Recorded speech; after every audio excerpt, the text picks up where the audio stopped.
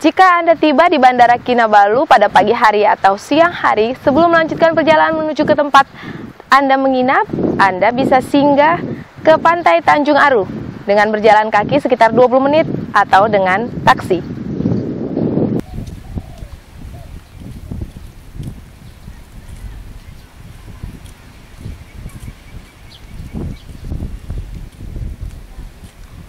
Nah, ini yang harus diperhatikan larangan-larangan yang tidak boleh kita lakukan. Baca sendiri ya.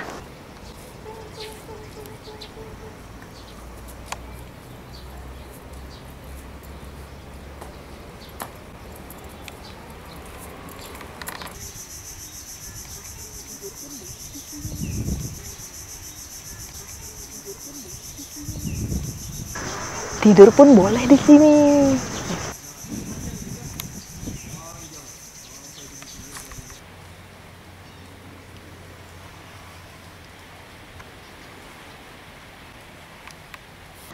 Kalau mau ke toilet, di sini juga ada.